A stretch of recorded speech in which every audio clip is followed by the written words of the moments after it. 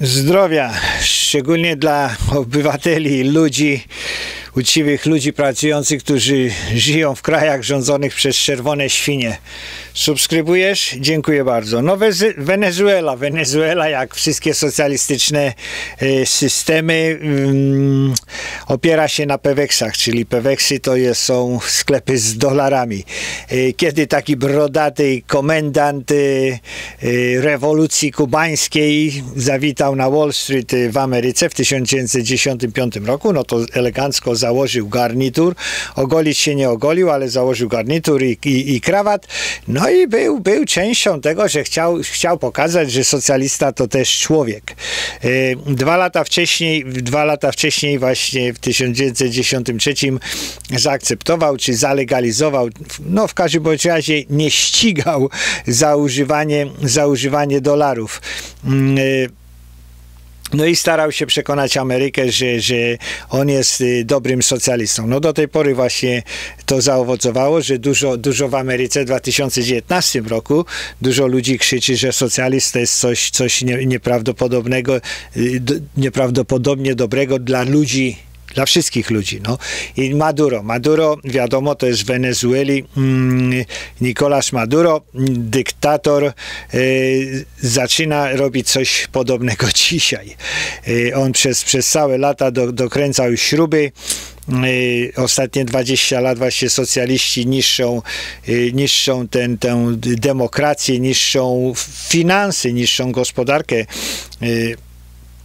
Wenezuela jest jedna z naj, naj, w latach 50., 60. to był najbogatszy kraj, y, jeden w piątce najbogatszych krajów, a teraz to jest po prostu smród, brud i ubóstwo. No ale propaganda propaganda sukcesu po, pokazuje, że ten boliwaryjska rewolucja jednak jakoś, jakoś zwycięży i, i socjalizm się uda. Y, wszystkie te mm, popularne media, te media państwowe pokazują, że Maduro przechytrzył Trumpa, że Maduro przechytrzył Trumpa i że te wszystkie sankcje, y, które były mm, y, założone przez Kongres Amerykański przeciwko Wenezueli, y, to jednak to się nie udaje i że Maduro, Maduro mm, Y, współpracuje, czy, czy mm, działa. No takie plotki w zasadzie poszły, poszły w, w zeszłym tygodniu w Bloomberg.com. Y, Bloomberg to jest milioner, miliarder, który w zasadzie teraz zaczyna, chce się bawić, no jako też, też socjalista ma pieniędzy potąd. Był majorem dwa razy w Nowym Jorku i stara się o prezydenturę, no ale w każdym bądź razie e, w, na stronie internetowej Bloomberga pokazało się, że, że pewne finansowe wielkie, pewne finansowe organizacje amerykańskie zaczynają rozmawiać z z Wenezuelą na temat tego, żeby, żeby mm, Wenezuela spłaciła 60 miliardów dolarów. 60 miliardów dolarów, no bo są kredytorzy, te, te wszystkie e, pożyczki, obligacje i tak dalej, i tak dalej.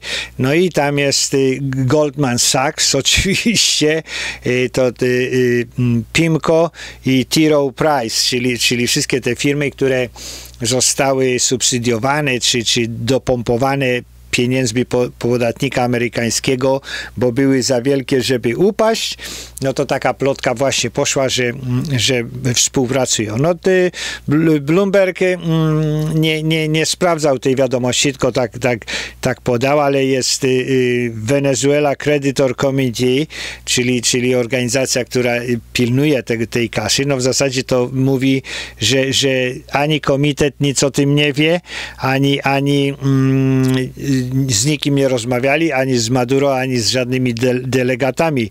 Y, także mówią, że żadnej propozycji nie ma. Y, poza tym taki, taki układ to by y, no, naruszył, naruszył powiedzmy te, te wszystkie sankcje. Import, import do Wenezueli to jest, jest strasznie duży. Ludzie, ludzie kupują, ludzie kupują prywatnie, wysyłają, całe, całe tam kontenery idą, no ale to jest taki import prywatny, mm, gdzie, gdzie się odbywał w latach 80., 90. w Polsce. Y, półki, półki się zapełniają. Y, mm, tyle tylko, że powiedzmy połowa, połowa Wenezueli, no półki są pełne, tyle tylko, że jest dolaryzacja.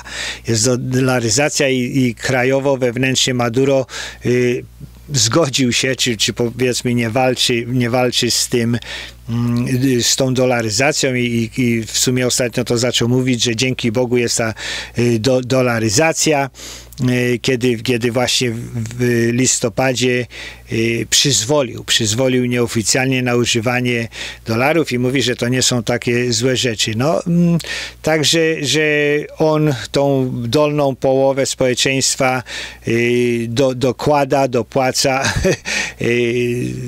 No ale ma, ma tych swoich y, polityków, ma tych swoich bandytów, mm, y, którzy są przy władzy. Ci, te czerwone świnie są wszędzie takie same. Y, tam nie, nie, zrobią, nie zrobią takiego numeru jak w Magdalence w Polsce. Tam jest cały czas stan wojenny, no ale, ale jest możliwe, że, że że jego poplecznicy będą, będą wybrani y, powiedzmy przy okrągłym, stole, okrągłym stole, stole, kiedy zdecydują właśnie przechwycić y, całą tą Y, wartość y, kapitałową w Wenezueli. No ale na dzień dzisiejszy, na dzień dzisiejszy, no to tam wszystkiego brakuje. Brakuje wody, brakuje prądu, brakuje gazy, gazu, y, benzyny. Benzyny też zaczyna brakować. Tam benzyna to była wyjątkowo, wyjątkowo tania, tyle tylko, że olej do silnika była, był drogi, no bo tam benzyna to kosztowała boliwara, czyli te, tam jeden taki chłopak, który pokazuje cenę ceny z Wenezueli, jeździ do tej Wenezueli z jakiejś, jakiegoś powodu, no to za, za, za dolara można by kupić tam kilka tysięcy litrów, no ale, ale rozrusznik kosztuje powiedzmy 100 czy 200 dolarów, opona kosztuje 100 czy 200 dolarów, także ta benzyna y, była najtańsza z tego wszystkiego, no ale podobnie jeszcze zaczyna, y, y, zaczyna y, brakować. Y, sankcje, sankcje są, są dosyć y, spore. No, Wenezuela sprzedaje ropę nielegalnie. Są sytuacje, że, że firmy tankowce po prostu przypływają, wy, przepompowywują olej Y, gdzieś tam na, na oceanie. Y, statki wyłączają te wszystkie y, mm, stacje transmisyjne i odbiorcze, wyciszają się po prostu, znikają, no i przewożą, przewożą ten olej w najróżniejsze miejsca, y, oszukując w papierach, że, że ropa powiedzmy pochodzi z Rosji, a pochodzi z Wenezueli. No jest, jest, tam, jest tam powiedzmy mafia wenezuelska i mafia y, ruska za, zaangażowana. Ruscy, Ruscy teraz złota y, bardzo dużo kupili, 20 milionów, tam 20 miliardów, jeszcze 10 lat temu to było 20 miliardów w złocie. E, w zeszłym roku sprzedali chyba za miliard, za miliard tego złota. No i takie oceny są, że, że Wenezueli zostało 5 miliardów dolarów. Także czerwone świnie, czerwone świnie mm, trzymają się mocno. Te sankcje w zasadzie to, to za, za dużo nie pomagają. E, ludzie, ludzie Wenezuelczycy, jak, jak, jak wszyscy, czy Polacy, czy, czy Węgrzy, czy Rumuni, czy, czy w, Niemcy z, y, z NRD, no to są przedsiębiorczy ludzie, no i, i tam te paczki, te paczki powiedzmy, Yy, zasilają, zasilają cały ten, ten rynek. Ludzie, ludzie ściągają co, co tylko mogą. Mm, naj, najgorsze w tym wszystkim jest to, że powiedzmy ilość eksportu takiego prywatnego, paczkowego powiedzmy, to, to, to są właśnie miliardy, miliardy, setki milionów dolarów i że te ceny, ceny y, y, w Wenezueli są dwa czy trzy razy większe niż w Ameryce, pomimo wszystko, że, że zarobki są 5 czy 10 razy mniejsze w Wenezueli. Także to, trudno sobie to wyobrazić, jak to wszystko działa, no ale, ale jakoś, jakoś to y, mm, y, działa i ten, ten dolar, ten dolar ustabilizował rynek. Po prostu ceny w dolarach mm, w Ameryce są stałe, te, te rzeczy trafiają dwa, trzy razy droższe w Wenezueli i wszystko jest do przewidzenia. Ta, ta mm, inflacja, która była y, przez, przez parę lat setki, tysiące procent rocznie po prostu y, zniknęła, bo dolar jest dolarem i, i to nie zmienia. Także Maduro, czerwona świnia, trzyma się przy żłobie, bandziory na, naokoło niego trzyma się przy, y, przy nim.